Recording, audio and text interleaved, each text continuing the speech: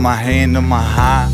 Truth be told, I was scared from the start. I could lose balance any second, my plans could depart. See, life is pretty easy if you stand where you are. Do you really wanna be that kid that ran too far? Be prepared for scars. Sometimes we lose touch, yeah. Sometimes it's too much, yeah.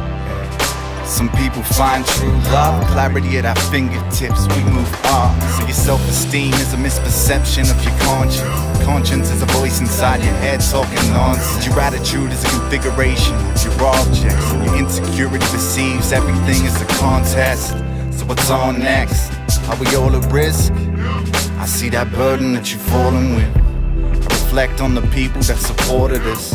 So I'm thinking, fuck it, I'm just walking in.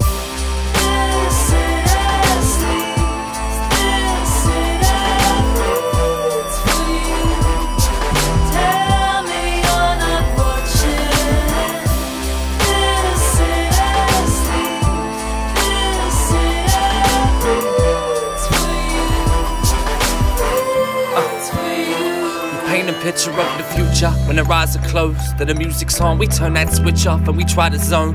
We try to lift up just to fix up, be the kind that sits up, the kind that grow, the kind that likes to do better And everything they know. Into serenity, we drift away, leaving reality with clarity. We on our way. It's only one song, so where we go from here, we need to take. What we know right now and with us every single day We owe it to the world to show them that we're great We owe it to the world to show them that we're great So it's on with the actions we give them a way to see our resilience To know that we won't be beaten up by this world and its demons So carry on with your night Mr. Man and wife We need the judgment and not we don't need a grudge in our life And if you're scared to relate just why you stare into space, just know that everyone in the city they want you to change and live long. Yeah.